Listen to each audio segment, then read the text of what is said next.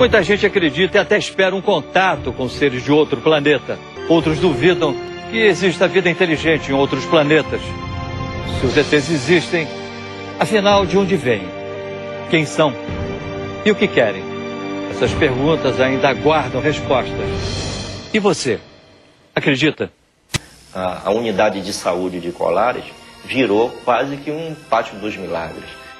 Depois dos ataques a moradores, a única médica da região, doutora Velaide, tenta dar conta de tantos feridos.